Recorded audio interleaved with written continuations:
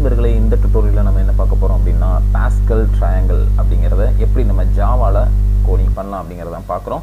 So இதுக்கு முன்னாடி நம்ம என்ன பண்ணணும் அப்படின்னு பார்த்தீங்கன்னா இதுக்கு பேசிக் வந்து நம்மளுக்கு பாஸ்கல் ட்ரையாங்கிள் அப்படின்னா என்னன்னு சொல்லி நம்மளுக்கு தெரிஞ்சிருக்கணும். ஸோ அதனால் நான் ஃபஸ்ட்டு பாஸ்கல் ட்ரையாங்கிளை பற்றி முதல்ல சொல்லிக்கிறேன். இன்கேஸ் உங்களுக்கு பாஸ்கல் ட்ரையாங்கிள் பற்றி தெரிஞ்சு அப்படின்னா இந்த வீடியோ கொஞ்சம் ஸ்கிப் பண்ணி எப்போ நான் அந்த கோடிங்கில் வரணும் அதுலேருந்து பார்த்துக்கோங்க. இன்கேஸ் தெரியாதவங்க என்னோட அப்படியே ஃபாலோ பண்ணுங்கள் ஸோ பாஸ்கல் ட்ரையாங்கிள் அப்படின்னா என்னது?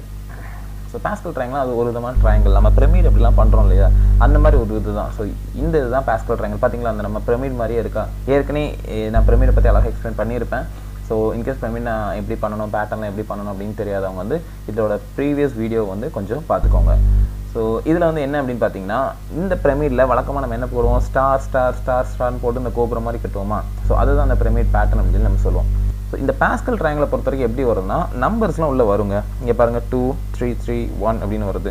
உதாரணத்துக்கு இதில் நான் உங்களுக்கு காட்டுறேன். இதே இது ஒரு சிக்ஸ் அப்படின்னா ஓகே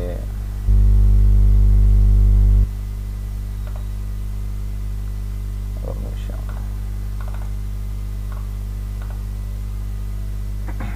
ஒரு சிக்ஸ் அப்படின்னா பார்த்தீங்களா அவுட்புட் எப்படி இருக்குன்னு. ஸோ இதுதான் பாஸ்கல் ட்ராயங்கள் இதுதான் நம்ம இப்போ பண்ண போகிறோம் இது எப்படி பண்ண போகிறோம் அப்படிங்கிறத நம்ம இப்போ பார்க்குறோம் சரியா? ஸோ இதில் வந்து பார்த்தீங்கன்னா one one one one two one one three three one one four six four one இப்படிலாம் இருக்குது ஸோ இதெல்லாம் எப்படி வருதுன்னு பார்த்தீங்கன்னா அதை நம்ம இதை வச்சு எக்ஸ்பிளைன் பண்ணுறேன் ஸோ இதில் ஒன் இருக்குது முதல்ல வந்து இனிஷியலாக ஒனில் ஸ்டார்ட் ஆகுதுங்க நல்லா பார்த்துக்கோங்க லெஃப்ட் சைடில் அப்படியே இறக்குறோம். அந்த ஒன்னை அப்படியே இறக்கிறதுக்கும் அதேமாதிரி ரைட் மோஸ்ட்டும் அப்படியே இறக்குறோம். நடுவில் உள்ளது மட்டும் தான் மாறுது. அது எப்படி மாறுதுன்னா ஃபஸ்ட் இதுக்கு நடுவில் எதுவுமே இல்லை. ஸோ அது மாறல. இங்கே ஸ்டார்டிங்கில் எதுவும் அப்படியே போட்டாச்சு. ஸோ அடுத்தது எப்படி மாறுதுன்னு பார்த்தீங்கன்னா ஒன்று அப்படியே இறக்கிட்டாங்க. இதுக்கப்புறம் அடுத்த வேல்யூ இது எப்படின்னா இந்த ரெண்டையும் ஆட் பண்ணி அடுத்த வேல்யூ கொடுக்குறாங்க. ஸோ இதுக்கப்புறம் ஆட் பண்ண ஒன்றும் இல்லை. ஸோ அடுத்தது வந்து ஒன் அப்படியே இறக்கிறாங்க ஓகே ஸோ அடுத்தது பாருங்கள் ஒன் அப்படியே இறக்கியாச்சு. ஸோ இதுக்கப்புறம் two plus one three add பண்ணியிருக்காங்க. அப்புறம் டூ ப்ளஸ் ஒன் த்ரீ அதுக்கப்புறம் ஒன் அப்படியே இறக்கியிருக்காங்க. புரிஞ்சுதா? ஸோ இதுக்கு அடுத்த ஸ்டெப் எப்படி வரும்னா இங்கே பாருங்கள் இந்த ப்ரோக்ராமோட அவுட்புட்டை பாருங்கள் இந்த ஸ்டெப் எப்படி வந்துச்சுன்னா ஒன் ப்ளஸ் த்ரீ அது ஃபோர் முதல்ல ஒன் அப்படியே இறக்கியிருக்காங்க. அதுக்கப்புறம் ஒன் ப்ளஸ் த்ரீ ஃபோர் அதுக்கப்புறம் த்ரீ ப்ளஸ் த்ரீ சிக்ஸ் அதுக்கப்புறம் த்ரீ ப்ளஸ் ஒன் ஃபோர் அதுக்கப்புறம் ஒன் அப்படியே இறக்கியிருக்காங்க. புரிஞ்சுதா? ஸோ இப்படி தான் இது அப்படியே இப்போ அடுத்த ஸ்டெப்பில் பார்த்தீங்கன்னா ஒன் அப்படியே இறக்கிட்டு ஒன் ப்ளஸ் ஃபோர் ஃபைவ் அதுக்கப்புறம் ஃபோர் ப்ளஸ் சிக்ஸ் டென் இப்படியே போயிட்டு இருக்குங்க சரி இதுதான் பேஸ்கல் ட்ராயங்கிள் ஸோ இது வந்து எப்படி பண்ணணும்? கோடிங்கில் எப்படி பண்ணணும்? அப்படிங்கிறதுக்கு முன்னாடி இதில் வந்து ஒரு பேசிக் ஃபார்முலா இருக்குது என்சிஆர் அப்படிங்கிற ஃபார்முலா மூலியமாக தான் இது வந்து ரன் ஆகுது. இதில் வந்து அவுட்புட்லாம் வருது. ஸோ இந்த அடி இருக்கும் பார்த்தீங்களா இந்த பிரமிடை இப்படி தான் அதோட ஃபார்முலா ஓகேவா இது என்னென்னு போட்டு குழப்பிக்காதீங்க. நான் நீட்டாக எக்ஸ்பிளைன் பண்ணுறேன் என்சிஆர் ஸோ இந்த ஃபார்முலா யூஸ் பண்ணி தான் நம்ம ஒவ்வொரு வேல்யூ அதாவது இதிலிருந்து இந்த இதுலேருந்து ஆரம்பித்து இது எல்லா வேல்யூவும் நம்ம கால்குலேட் பண்ணுறோம் ஸோ என்சியரோட ஃபார்முலா என்னென்னா N factorial R factorial divided by R factorial into N minus R factorial இதுதான் அதோட ஃபார்முலா ஃபார்முலா மட்டும் புரிஞ்சிட்டிங்க அப்படின்னா இந்த ப்ரோக்ராம் ரொம்ப ஈஸியாக பண்ணிடலாங்க ஸோ ஏற்கனவே நான் ஃபேக்டோரியல் பற்றி ஒரு வீடியோ போட்டிருப்பேன். இன்கேஸ் உங்களுக்கு ஃபேக்டோரியல் கண்டுபிடிக்கிறது எப்படின்னு தெரில அப்படின்னா அதை பார்த்துக்கோங்க. ஸோ ஃபேக்டோரியல்னால் என்னென்னு முதல்ல நான் சொல்கிறேன் இங்கே பாருங்கள் ஜீரோட ஃபேக்டோரியல் ஒன் ஒன்னோட ஃபேக்டோரியல் ஜீரோ ஃபேக்டோரியல் எல்லாமே கொஞ்சம் கன்ஃபியூஸ் பண்ணுவாங்க. ஜீரோ ஃபேக்டோரியல் வந்து ஜீரோன்னு போடுவாங்க. தோழர்களே அது அப்படி கிடையவே கிடையாது. ஜீரோ ஃபேக்டோரியல் எப்போவுமே வேல்யூ ஒன் அதை மறந்துடாதீங்க. ஓகேயா ஸோ அதுக்கப்புறம் one factorial one two factorial two இதெல்லாம் என்னது எப்படி கண்டுபிடிக்காங்க அப்படின்னா எந்த ஒரு ஃபேக்டரியில் கண்டுபிடிக்கிறோமோ அதிலிருந்து ஒவ்வொரு நம்பரையும் மைனஸ் பண்ணி மைனஸ் பண்ணி எல்லாத்தையும் இன்டூ பண்ணி ஒன் வரைக்கும் கொண்டு வரணும். குழப் குழப்பிக்காதீங்க. நான் தெளிவாக சொல்கிறேன் பாருங்களேன். இப்போ டூ ஃபேக்டர்கள் கண்டுபிடிக்க போகிறோம்னு வைங்களேன். டூலேருந்து ஒன் வரைக்கும் மல்டிப்ளை பண்ணிகிட்டே வரணும். ரிவர்ஸில் அதாவது டூ இன்டூ ஒன் இங்கே ஒன்னோட முடிஞ்சுது. இன்கேஸ் த்ரீ அப்படின்னா three into two into one புரிஞ்சுதா? அதோட வேல்யூ சிக்ஸ் இப்போ four ஃபேக்டர்னா four into three into two into one so எந்த ஃபேக்டர் கண்டுபிடிக்குமோ அதுலேருந்து ஒன் வரைக்கும் ஒவ்வொரு நம்பராக குறைச்சி குறைச்சி மல்டிப்ளை பண்ணிக்கிட்டே வரும் so five ஃபேக்டர்னா five into four into three into two into one புரிஞ்சுதா? ஸோ இவ்வளோ தாங்க ஃபேக்டர் இதுக்குள்ள ப்ரோக்ராம் வந்து நான் ஏற்கனவே நான் பண்ணி நம்மளோட வீடியோஸில் போட்டிருக்கேன். ஸோ இன்கேஸ் ஃபேக்டரியோட கோடு உங்களுக்கு தெரியலன்னா பார்த்துக்கோங்க. ஏன்னா நம்ம இதில் டீப்பாக போக மாட்டேன். பட் கண்டிப்பாக ஃபேக்டரியில் வச்சு எக்ஸ்பிளைன் இருக்கும். இந்த இருக்குது பட் இது வந்து ரொம்ப டீப்பாக எக்ஸ்பிளைன் பண்ணியிருக்க மாட்டேன். ஸோ உங்களுக்கு டீப்பாக எக்ஸ்பிளைன் பண்ணணும் எப்படி ஒர்க் ஆகுதுன்னு பார்த்தீங்கன்னா நீங்கள் வந்து அங்கே போய் ஆகணும். ஓகே ஓகே ஸோ இதில் வந்து நம்ம ஃபார்முலாஸ் படி இப்படி போட்டிருக்கோம். எப்படி சொல்லி பார்த்தீங்கன்னா ஃபஸ்ட்டு இதில் வந்து zero C zero one C zero two C one இதெல்லாம் எப்படி போட்டிருக்கீங்க அப்படின்னு சொல்லி கேட்டிங்கன்னா ரொம்ப சிம்பிளுங்க இந்த ஃபஸ்ட்டு இது வந்து குறிக்கிறது வந்து நம்மளோட ரோவை குறிக்குது. ரோவோட வேல்யூவை குறிக்குது. ஸோ செகண்ட் இந்த சப்ஸ்கிரிப்ட் இருக்குல்ல அதாவது கீழே இருக்குல்ல அது வந்து எதை குறிக்குது அப்படின்னு பார்த்தீங்கன்னா இன்கேஸ் தெரில அப்படின்னு. ஓகே ஸோ இப்போ தெரியும் நினைக்கிறேன். பார்த்தீங்களா இது லெஃப்ட் சைடில் உள்ளது வந்து ரோவை குறிக்குது இது வந்து காலம் குறிக்குது. ஸோ இது வந்து zeroth row first row second row இது தேர்ட் ரோ பார்த்தீங்களா ஜீரோன்னு இங்கே இருக்குது ஸோ ஃபஸ்ட் ரோவில் உள்ளது எல்லாமே லெஃப்ட்டில் ஒன்னு தான் இருக்கும். அதுக்கு செகண்ட் ரோ எல்லாமே டூன்னு தான் இருக்கும் தேர்ட் ரோ இது வந்து அரை இண்டெக்ஸ் மாதிரி ஜீரோலேருந்து ஆரம்பிக்குதுன்னு வச்சுக்கோங்களேன். அதே மாதிரி தான் காலமும் ஸோ இது எத்தனை காலமில் இருக்குது இந்த ரோவில் ஃபஸ்ட்டு காலமில் இருக்குது அதனால ஜீரோ இது வந்து அதே மாதிரி செகண்ட் ரோவில் ஐ மீன் இந்த ஃபஸ்ட் ரோவில் ஜீரோத் காலமில் இருக்குது ஸோ இது வந்து ஃபஸ்ட்டு காலமில் இருக்குது இங்கே பாருங்கள் செகண்ட் ரோவில் ஜீரோத் காலமில் இருக்குது ஃபஸ்ட்டு காலம் இது செகண்ட் காலம் அது மாதிரி இங்கே பாருங்கள் ஜீரோத் காலம் first column second column third காலம் புரிஞ்சுதா? ஸோ இந்த ஜீரோவும் ஜீரோவும் இந்த ரெண்டு ஜீரோவும் எதுக்கு வந்துச்சு? இதில் ஒன்று ஜீரோ எப்படி வந்துச்சு? இதில் டூவும் ஒன்று எப்படி வந்துச்சு அப்படிங்கிறது புரிஞ்சுதா? ஸோ இப்படியே அது ஃபர்தராக போயிட்டு இருக்கு. இப்போ ஃபோர்த் இன்னொரு லைன் இருக்குன்னா எல்லாத்திலோட லெஃப்ட்லேயுமே ஃபோர் ஃபோர் ஃபோர் ஃபோர்னு இருக்கும். கீழே வந்து ஜீரோலேருந்து ஆரம்பிக்கும். Zero one two three four வரைக்கும் வரும். ஓகேவா ஸோ இப்படி தாங்க இந்த பிரமிட் வந்து ஒர்க் ஆகுது.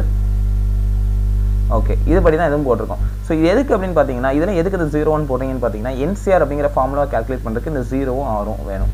ஐ மீன் ஜீரோவும் ஐ மீன் எண்ணும் ஆரும் வேணும். அதாவது ரோவும் காலமும் ஸோ இப்போ உதாரணத்துக்கு இந்த இதை கால்குலேட் பண்ணோம் இந்த இது என்ன வேல்யூ போட்டிருக்காங்க? டூ போட்டிருக்கேன் அப்படி தானே இது எல்லாமே அதோட ஒர்க்கிங் மாடலும் இங்கே போட்டிருக்கேன். அதோட ஃபார்முலாஸும் இங்கே போட்டிருக்கேன். ஸோ டூ சி ஒன் அதோட வேல்யூ தான் இங்கே டூன்னு போட்டிருக்கேன். புரிஞ்சுதா? ஸோ இந்த த்ரீயோட வேல்யூ வந்து இங்கேருந்து ஜென்ரேட் பண்ணியிருக்காங்க. புரிஞ்சுதா? ஸோ இப்போ இந்த டூ எப்படி வந்துச்சுன்னு சொல்லி நம்ம பார்க்கலாம். இங்கே வந்து டூ சி ஒன் ஸோ இந்த டூ அப்படிங்கிறது வந்து என் அப்படின்னு சொல்லி நோட்டேஷனில் நோட் பண்ணுறோம் இந்த ஒன் அப்படிங்கிறது வந்து ஆர் அப்படிங்கிறது வந்து நம்ம நோட் பண்ணுறோம் ஓகேவா அதுதான் அந்த என்சிஆர் ஃபார்முலா இந்த பேட்டர்னில் இருக்குதா? சிக்கு முன்னாடி ஒரு வேல்யூ சிக்கு சப்ஸ்கிரிப்ட் ஒரு வேல்யூ இருக்கா? அதுதான் இந்த வேல்யூ சிக்கு முன்னாடி இந்த டூ சிக்கு கீழே இந்த ஒரு வேல்யூ இருக்குது ஒன் இருக்குது ஸோ இது வந்து என்ன ஃபார்மெட்டில் இருக்குன்னா என்சிஆர் ஃபார்மெட்டில் இருக்குது என்சி கீழே ஆர் அப்படிதானா? ஸோ இதில் என் வந்து டூ ஆர் வந்து ஒன் நல்லா நோட் பண்ணிக்கோங்க. என் வந்து டூ ஆர் வந்து ஒன் ஸோ இங்கே போகலாம் ஸோ என் வந்து டூ தானா? ஸோ டூ ஃபேக்டரில் என்னது நம்மளுக்கு வேல்யூ டூ இன்ட்டு ஒன் அப்படி தானே அப்போ டூ கீழே வந்து ஆரோட வேல்யூ ஒன் தான் போட்டிருக்கோம் so one factorial into N minus ஆர்னு என்னது? என்னோட வேல்யூ டூ ஆரோட value one so two minus one one factorial அதுவும் ஒன்று ஸோ மேலே டூ ஃபேக்டோரியல் இருக்குது divided by one factorial into one factorial அதாவது two divided by one into one அப்போ two divide by one அதோட ஆன்சர் டூ அந்த answer தான் நம்ம அதாவது இதுக்கு கிடைச்ச ஆன்சர் தான் தூக்கி இங்கே போட்டிருக்கோம். ஸோ ஒன்றுமே இல்லை. முதல்ல இந்த பிரமிடை ஜென்ரேட் பண்ணி ஒரு அவுட்லுக் கொடுத்துட்டு இந்த ஃபார்மில் சப்ஸ்டியூட் பண்ணால் இந்த பிரமிட் வந்துடும் ஓகேவா ஸோ இப்போ வந்து நம்ம கோடிங்கில் போகலாம் கோடிங்கில் என்ன போட்டிருக்கேன்னா வள வள நிறைய எழுதியிருக்கேன். அதெல்லாம் குழப்பிக்காதீங்க. இது எல்லாத்தையுமே நான் கமெண்ட் பண்ணி முதல்லன்னு சொல்லி தரேன்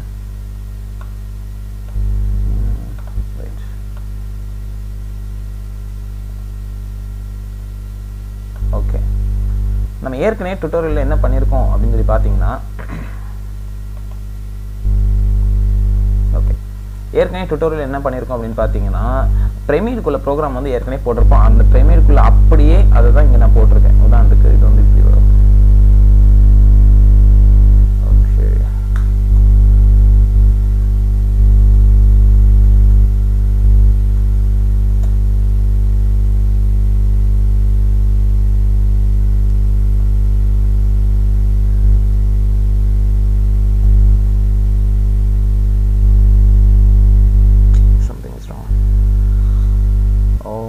ஓகே ஓகே ஓகே ஓகே ஆக்சுவலாக இந்த ப்ரோக்ராம் வந்து சீரியலோட ப்ரோக்ராம் எடிட் பண்ணிட்டு இருக்கேன். ஓகே ஓகே இந்த இருக்கு நம்மளோட ஜாவா ப்ரோக்ராம் அதே ப்ரோக்ராம் ஸோ இது வந்து கமெண்ட் பண்ண போகிறேன் ஃபஸ்ட்டு ஓகே கமெண்ட் பண்ணியாச்சு. அதுக்கப்புறம்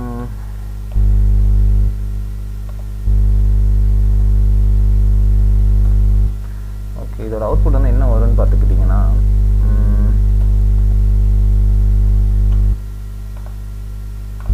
ஒரு ஃபைன் கொடுத்தா ஓகே இதில் என்ன பிரச்சனை அப்படின்னா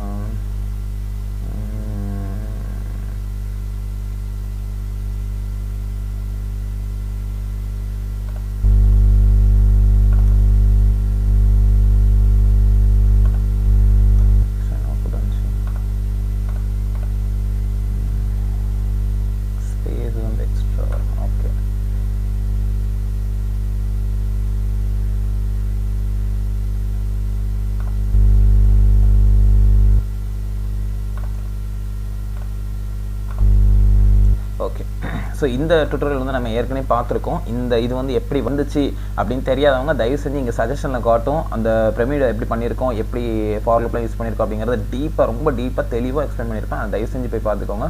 ஸோ இந்த இதை இன்கேஸ் அந்த வீடியோ பார்த்தவங்க இந்த இது வந்து எப்படி வரும்னு உங்களுக்கு தெரியும். அதுக்குள்ள கூட தான் இங்கே போட்டிருக்காங்க. வேறு ஒரு கோடும் போடல பாருங்க. இதெல்லாம் கமெண்ட் பண்ணிட்டேன். எதுவுமே நம்ம ரன் ஆகலை. ஸோ இதுலேருந்து தான் அந்த இதை ரிட்ரைவ் பண்ண போகிறோம் இதுலேருந்து அதை நம்ம ஜென்ரேட் பண்ண போகிறோம் அந்த கோடை ஸோ இங்கே என்ன பண்ண போகிறோம் அப்படின்னு சொல்லி பார்த்தீங்கன்னா இந்த அவுட்புட்டை பாருங்கள் இந்த அவுட்புட்டுக்குள்ளே ஃபார்மட்டும் நம்ம பிரமிடுக்குள்ளே ஃபார்மட் அதாவது பேஸ்கல் ட்ரையாங்கிளுக்குள்ள ஃபார்மட்டும் எப்படி இருக்குன்னு சொல்லி பாருங்களேன். கொஞ்சம் டிஃப்ரென்ஸ் இருக்கும். என்ன டிஃப்ரென்ஸ் பார்த்தீங்கன்னா இதில் என்ன போட்டிருக்கோம்? முதல்ல ஒன்று அதுக்கப்புறம் மூணு அதுக்கப்புறம் அஞ்சு.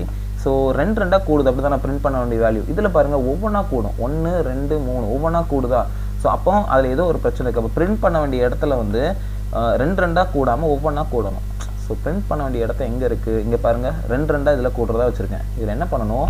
ரெண்டு ரெண்டாக கூடுறதுக்கு பதில் ஒன்று ஒன்றா கூடணும். ஸோ இது இப்படி போட்டாலும் ஒன்று தான் இல்லை நார்மலாக ப்ளஸ் ப்ளஸ் போட்டாலும் ஒன்று தான் புரிஞ்சுதா?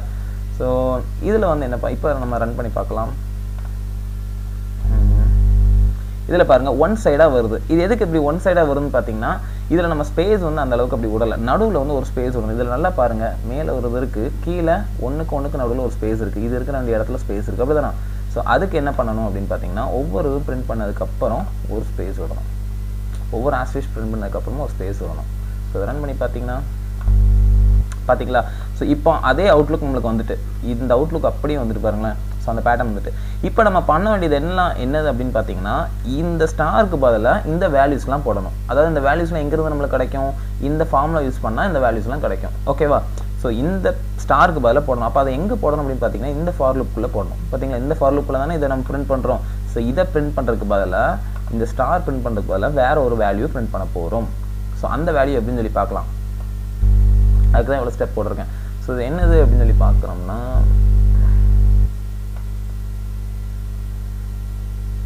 ஸோ பயங்கரமாக பெருசாக இருக்குது அப்படின்னு சொல்லி ஸ்கிப் பண்ணிடுறாங்க கண்டிப்பாக கவனிச்சா ரொம்ப ஈஸியாக புரியும். ஸோ ஓகே கவனிங்க.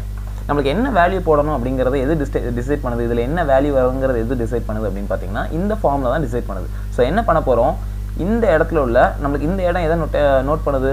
ஜீரோ அண்ட் ஜீரோ அப்படி தானா கரெக்டாக பாருங்க. இந்த இடத்துக்கு பேர் ஜீரோ அண்ட் ஜீரோ இந்த இடத்துக்கு பேர் ஒன் அண்ட் ஜீரோ இந்த இடத்துக்கு பேர் டூ அண்ட் ஒன் ஸோ ஒவ்வொரு இடத்துக்கும் யூனிக்காக ஒரு இடம் உண்டு. இதோட இடம் தான் அப்படிங்கிறதுக்கு யூனிக்காக ஒரு வேல்யூ இருக்குது ஸோ இந்த வேல்யூக்கு பேர் வந்து என் நான் ஏற்கனவே சொல்லியிருக்கேன். என்சிஆர் ஃபார்மெட்டில் இருக்குது இது என் இதோட வேல்யூ வந்து ஆர் அப்படி தானே ஸோ ஒரு இடத்தோட வேல்யூவை நிர்ணயிக்கிறது வந்து அந்த எண்ணும் ஆறு தான். ஸோ நம்ம எண்ணையும் ஆரையும் கொடுத்துட்டோம்னா அதோட வேல்யூ கொடுத்துருவாங்க. அப்படிதானே? ஏன்னா எல்லா இடத்துக்கும் யூனிக்காக என்னோட என் அண்ட் ஆர் வந்து யூனிக்காக இருக்குது அப்படிதானே? இந்த இடத்துல என்னோட வேல்யூ த்ரீயாக இருக்கும் போது ஆரோட வேல்யூ டூவாக இருந்தால் அதோட வேல்யூ த்ரீ அப்படின்னு சொல்லி அர்த்தம். புரிஞ்சுதா? ஸோ எண்ணும் ஆறும் கொடுத்தா இந்த ஃபார்முலா ஜென்ரேட் ஆகி நம்மளுக்கு வேல்யூ கொடுக்குது. ஸோ நம்மளுக்கு கொடுக்க வேண்டியது ஃபார்முலாக்கு தேவை வேண்டியது என் அண்ட் ஆர் ஸோ இனிஷியலாக என்ன பண்ணுறேன் எண்ணையும் ஆரையும் நான் ஜீரோ வச்சுக்கிறேன். எதனால? மொதல் இனிஷியலாக என்னென்னு பாருங்கள் என்னோட வேலையும் ஜீரோ அவரோட வேலையும் ஜீரோ புரிஞ்சுதா? ஸோ அதனால இனிஷியலாக நான் ஜீரோ ஜீரோன்னு வச்சுக்கிறேன். போக போக எப்படிலாம் இன்க்ரீஸ் பண்ணணும் அப்படின்னு பார்த்தீங்கன்னா ஒரு வேல்யூ முடிஞ்சு அடுத்த ரோல் வரும்போது என்னோட வேல்யூ என்னெல்லாம் இன்க்ரீஸ் ஆகுது? என்னோட வேல்யூ வந்து ஒன் இன்க்ரீஸ் ஆகுது. இங்கேயும் ஒன் இன்க்ரீஸ் ஆகுது. அதாவது ஒவ்வொரு ரோ கூட கூட என்னோட வேல்யூ ஒன்று ஒன்றா இன்க்ரீஸ் ஆகுது. நல்லா பாருங்கள் முதல்ல ஜீரோ இருக்குது அடுத்த ரோவில் ஒன்று இருக்குது அடுத்த ரோவில் டூ இருக்குது ஸோ என்னோட வேல்யூ வந்து ஒவ்வொரு ரோ முடிவுலையும் ஒவ்வொன்றும் இன்க்ரீஸ் ஆகுது. அப்படிதானா? ஸோ அதைத்தான் எங்கே பண்ணியிருக்கேன். இந்த இருக்குது ஸோ இது வந்து ஒவ்வொரு ரோ முடிவில் இந்த ஃபார்லுக்கு வந்து ஒவ்வொரு ரோக்கும் இந்த ஃபார்லுக்கு ரிலேட் ஆகும். ஸோ ஒவ்வொரு ரோவில் முதல்ல ஸ்பேஸ் விடும் அதுக்கப்புறம் பிரிண்ட் பண்ணும். ஸோ இது ரெண்டும் முடிஞ்சோன்னா ஒரு ஒரு ரோ ஒரு ரோக்குள்ள ஸ்பேஸ் விட்டு ஒரு ரோக்குள்ள பிரிண்டிங் முடிச்சிட்டோன்னா ஒரு ரோ ஸோ ஒரு ரோ முடிவில் நான் என்ன வந்து ஒரு வேல்யூ இன்க்ரீஸ் பண்ணுறேன் ஆரோட வேல்யூ எப்படி இன்க்ரீஸ் ஆகுதுன்னா ஒவ்வொரு ரோலையும் வந்தோன்னா ஜீரோலேருந்து ஸ்டார்ட் ஆகி இன்க்ரீஸ் ஆகி போயிட்டே இருக்குது அப்படி தான் இப்போ ஃபர்ஸ்ட் ரோல் ஜீரோ இருக்குது செகண்ட் ரோலையும் ஜீரோலேருந்து ஸ்டார்ட் ஆகுது. தேர்ட் ரோலையும் ஜீரோலேருந்து ஸ்டார்ட் ஆகுது. ஸோ ஒவ்வொரு ரோ முடிவுலையும் ஆரோட வேல்யூ ஜீரோலேருந்து ஸ்டார்ட் ஆகுது. அப்படிதானா? ஸோ அதுக்கு தான் ஒவ்வொரு ரோ முடிவுலையும் ஆரோட வேல்யூ ஜீரோன்னு போட்டிருக்கேன். எக்ஸ்ட்ரா இதெல்லாம் அந்த ப்ரோக்ராமில் கிடையாது. இந்த ப்ரோக்ராம் எக்ஸ்ட்ரா போட்டது. அந்த பிரமிட் ப்ரோக்ராமுக்கு பதில் இதில் எக்ஸ்ட்ரா போட்டது. புரிஞ்சுதா? இந்த மூணு எடிட்டிங் இது ஒரு எடிட்டிங் இது ரெண்டு எக்ஸ்ட்ரா ஆட் சரியா? இதுக்கப்புறம் மற்றதெல்லாம் அதே ப்ரோக்ராம் தான். ஸோ இதுக்கப்புறம் இங்கே ஒரு ஆர் ப்ளஸ் ப்ளஸ் இருக்குது இதுவும் ஒரு எக்ஸ்ட்ரா அடிஷ்னல் இது. இது எதுக்குன்னா ஒவ்வொரு ஆரும் எப்படி இன்க்ரீஸ் ஆகுது? ஒவ்வொரு ரோக்கில் வந்தோன்னே பிரிண்ட் பண்ணும்போது ஒவ்வொன்றா இன்க்ரீஸ் ஆகிட்டு போகுது. இங்கே ஜீரோ இங்கே ஒன் இங்கே ஜீரோ ஒன் டூ அப்போ இந்த ஒவ்வொரு ரோலையும் காலம் ஒவ்வொன்றா கூட கூட இன்க்ரீஸ் ஆகி போயிட்டே இருக்குது ஸோ ஒவ்வொரு ரோக்கிலும் பிரிண்ட் பண்ணோன்னே ஒவ்வொரு வேலையும் பிரிண்ட் பண்ணதுக்கப்புறம் ஆர் ப்ளஸ் ப்ளஸ் ஆகிட்டே இருக்குது இந்த வேல்யூ பிரிண்ட் பண்ணோன்னே திரும்ப ஆர் ப்ளஸ் ப்ளஸ் ஆகும். இந்த வேல்யூ பிரிண்ட் பண்ணோன்னா R plus plus R plus plus ஆகும். ஸோ ஜீரோ ஒன் டூ ஓகேவா ஸோ புரிஞ்சிருக்கும் அப்படின்னு சொல்லி நம்புறேன். ஸோ இது எல்லாமே புரிஞ்சுது. ஸோ இனிமேல் பார்க்க வேண்டியது இது ரெண்டே ரெண்டு மட்டும் தான் இது வந்து அந்த பிரிண்ட் பண்ண வேண்டியது. பிரிண்ட்டில் என்ன சொல்லியிருக்கேன்? முதல்ல என்ன சொன்னேன்? இதில் வந்து என்ன பிரிண்ட் பண்ணியிருந்தோம்? ஆஸ்ட்ரிஷ் போட்டு ஒரு ஸ்பேஸ் விட்டணும் அப்படிதானா? ஸோ இந்த ஆஸ்ட்ரிஷ் பதிலாக என்ன பண்ண போகிறோம் ஒரு வேல்யூ கொடுத்து போகிறோம் ஒவ்வொரு வேல்யூ மாறுது. அப்படிதானா? அந்த வேல்யூ ப்ளஸ் ஒரு ஸ்பேஸ் விட்டேன் இல்லையா? அதுக்காக இந்த ஸ்பேஸ் இந்த ஸ்பேஸ் புரிஞ்சுதா? ஸோ இந்த லைன் உங்களுக்கு புரிஞ்சிருக்கும். இந்த வேல்யூ தான் எங்கேருந்து வருது? அதாவது இங்கே பிரிண்ட் பண்ண வேண்டிய வேல்யூ வந்து எங்கேருந்து வருது? அதுக்கு தான் இந்த ஒரு லைன் ஸோ ஸோ இது என்ன பண்ணுறோம் அப்படின்னா என்சிஆர் அப்படிங்கிற ஒரு ஃபங்க்ஷன் அதாவது ஒரு மெத்தடை வந்து நான் இங்கே இம்ப்ளிமெண்ட் பண்ணியிருக்கேன் கீழே. அது எப்படின்னு சொல்லி காட்டுறேன். ஸோ ஒரு வேல்யூ வேணும்னா அதுக்கு என்னென்ன தேவைன்னு சொல்லியிருக்கேன்? அதோட எண்ணும் ஆறும் அனுப்பணும். அப்படிதானா? ஸோ என்ன ஆறும் எப்படி கால்குலேட் பண்ணதுலேயே நம்ம கால்குலேட் ஏற்கனவே பண்ணிட்டோம். ஸோ ஒவ்வொரு ரோக்கும் அந்த பர்டிகுலர் இடத்துக்குள்ள எண்ணெய் ஆறையும் எடுத்து என்சிஆருக்கு அனுப்புகிறோம் என்சிஆருக்கு அனுப்பணும்னா இந்த என்சிஆர் அப்படிங்கிற ஒரு மெத்தடில் நான் இம்ப்ளிமெண்ட் பண்ணியிருக்கேன் ஃபார்முலாவை அது என்னென்னு சொல்கிறேன் ஸோ அதில் ஜென்ரேட் ஆகி என்சிஆரோட வேல்யூ இங்கே கொடுக்கும். அதை இங்கே வேல்யூ அப்படிங்கிற ஒரு வேரியபிள் ஸ்டோர் பண்ணி அதை தான் இங்கே பிரிண்ட் பண்ணுறோம் புரிஞ்சுதா? ஸோ இந்த என்சிஆர் ஃபார்முலா வந்து கேல்குலேட் இந்த இடத்துல கேல்குலேட் ஆகி அதாவது இந்த ஃபார்மில் வந்து இந்த எண்ணையும் ஆரையும் கொடுத்தா இந்த இடத்துல கேல்குலேட் ஆகி அதோட வேல்யூ டூ அப்படின்னா அந்த டூ வந்து இந்த இடத்துல கொடுக்கும். அந்த டூவை நம்ம இங்கே வேல்யூ அப்படிங்கிற இடத்துல ஃபெச் பண்ணி இந்த இடத்துல பிரிண்ட் பண்ணுறோம் ஸோ இந்த இடத்துல நமக்கு டூன்னு பிரிண்ட் ஆகுது புரிஞ்சுதா? ஸோ இந்த ஃபார்மில் எப்படி கால்குலேட் பண்ணணும் அப்படின்னு சொல்லி பார்ப்போம். ஸோ இன்சர்ட் ஃபார்மில் இங்கே போட்டோம்னால இந்த இடத்துல அந்த ஃபார்முலா ஸோ அந்த ஃபார்முலா அங்கே எழுதியிருக்கேன். கரெக்டாக பாருங்கள் என் ஃபேக்டோரியல் டிவைடட் பை ப்ராக்கெட்டை விட்றாதீங்க ஸோ ப்ராக்கெட் போட்டால் தான் இந்த டிவைடட் வந்து இது எல்லாமே இதுக்கு கீழே அப்படின்னு அர்த்தம். ஸோ ஆர் ஃபேக்டோரியல் பார்த்தீங்களா? R factorial into N minus R factorial புரிஞ்சுதா? இந்த ஃபேமிலா அப்படிங்க போட்டுருங்க ஸோ இனிமேல் அந்த ஸ்லைடுக்குள்ளே போகணும்னு நினைக்கிறேன் ஸோ இதுலேருந்து பார்க்கலாம். ஸோ என்னெல்லாம் நம்மளுக்கு தேவை? இந்த ஃபார்முலா பொறுத்த வரைக்கும் என்னெல்லாம் தேவை அப்படின்னு சொல்லி பார்த்தீங்கன்னா முதல்ல வந்து என் ஃபேக்டோரியல் தேவை. அப்படிதானா? அதுக்கப்புறம் ஆர் ஃபேக்டோரியல் தேவை. அதுக்கப்புறம் என் மைனஸ் ஆர் ஃபேக்டோரியல் தேவை. ஸோ பொதுவாக சொல்ல போனால் ஃபேக்டோரியல் பண்ணக்கூடிய ஒரு மெத்தட் நம்மளுக்கு தேவை. ஸோ முதல்ல ஃபேக்டோரியல் நமக்கு எப்படி கண்டுபிடிக்குன்னு சொல்லி பார்க்கலாம். ஸோ ஃபேக்டோரியல் அப்படிங்கிறத வந்து தனியாக ஒரு மெத்தடில் போட்டிருக்கேன். ஃபேக்ட் அப்படிங்கிற ஒரு மெத்தடில் போட்டிருக்கேன். ஃபேக்டோரியல் தெரியாதவங்க என்னோட வீடியோ சஜஷனில் இங்கேயும் திரும்ப காட்டும். ஃபேக்டோரியல் எப்படி கண்டுபிடிக்குன்னு சொல்லி ஏற்கனவே போட்டிருக்கேன். தயவு செஞ்சு அதை பார்த்துக்கோங்க. ஸோ இது வந்து நான் எக்ஸ்பிளைன் பண்ண தேவையில்லை. ஸோ ஃபேக்டோரியல் கண்டுபிடிச்சி அதை எப்படி ரிட்டர்ன் பண்ணுறது வரைக்கும் அழகாக எக்ஸ்பிளைன் பண்ணியிருக்கேன். ஓகேவா ஸோ ஒரு ஒரு நார்மலாக ஒரு ஜஸ்ட் ஒரு அவுட்லுக் மாதிரி போகிறேனே ஃபேக்டோரியல் ஜீரோக்கு வந்து ஃபேக்டோரியல் எப்போவுமே ஒன் தான் நான் சொல்லியிருக்கேன். ஜீரோ ஃபேக்டோரியல் அதனால் இந்த வேல்யூ வந்து அனுப்புகிறோம் ஒரு வேல்யூ அங்கேருந்து அனுப்புகிறோம் எங்கேருந்து அனுப்புகிறோம் int fact of N is equal to N முதல்ல சொன்ன மாதிரி N factorial R factorial N minus R factorial மூணு தேவை. ஸோ ஃபேக்ட் ஆஃப் என் அப்படின்னா வந்த எண்ணை அப்படியே தூக்கி உள்ளே அனுப்புகிறேன் ஸோ இது இதோட முடிவில் என்ன வரும்னா இங்கே போய் ப்ராசஸ் ஆகி ரிட்டன் வந்து நம்மளுக்கு என் ஃபேக்டோரியலோட வேல்யூ வரும். அதை அப்படியே இந்த வேரியபிளில் ஸ்டோர் பண்ணுறேன் ஃபேக்ட் ஆஃப் என் அப்படிங்கிறது. ஸோ ஃபேக்ட் ஆஃப் என்ல என்ன இருக்கும்னா என் ஃபேக்டோரியல் இருக்கும். So fact of N under ஆர்னா N minus ஆராக அனுப்புகிறேன் ஸோ இந்த வேல்யூ அனுப்பினோன்னே இதோட ஃபேக்டோரியல் தான் கண்டுபிடிக்கும் இங்கே ப்ராசஸ் ஆகி திரும்ப இங்கே வரும். அதை தூக்கி இங்கே சேவ் பண்ணியிருக்கேன்.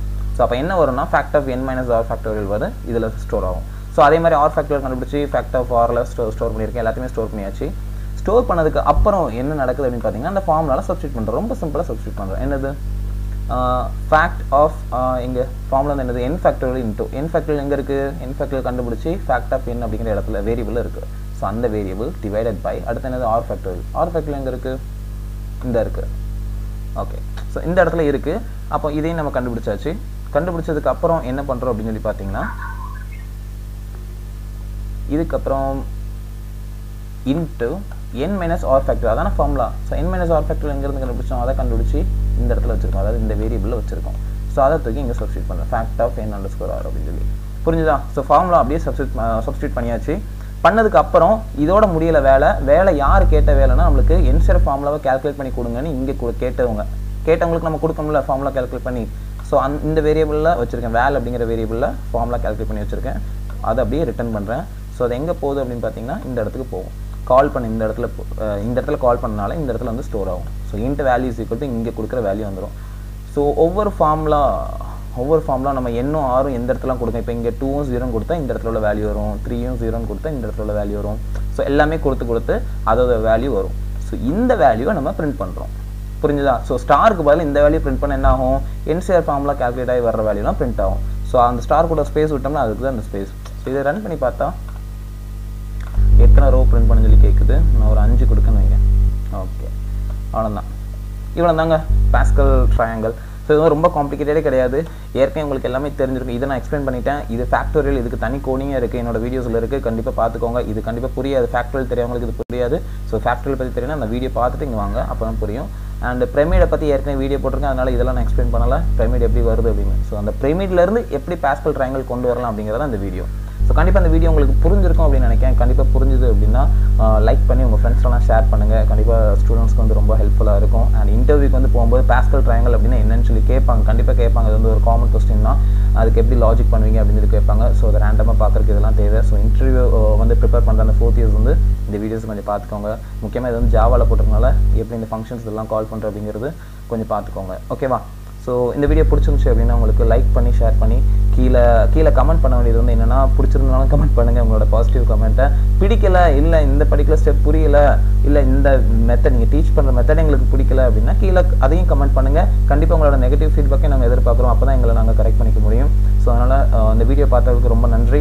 அண்ட் முக்கியமாக இந்த வீடியோ எல்லாமே எங்களுக்கு பிடிச்சிருந்துச்சு. எல்லாமே எல்லாமே பக்காவாக இருக்குது அப்படின்னா சப்ஸ்கிரைப் பண்ணி அதுக்கப்புறம் ஷேர் பண்ணுங்கள் உங்களோட ஃப்ரெண்ட்ஸ்கிட்ட கண்டிப்பாக சப்ஸ்கிரைப் பண்ண பண்ண தான் நாங்கள் நிறைய வீடியோஸ் போட்டுக்கிட்டே இருப்போம். அது ஒரு மோட்டிவேஷன் நாங்கள் எடுத்துக்கிறோம். ஸோ தேங்க்யூ ஃபார் வாட்சிங் this video thank you guys thank you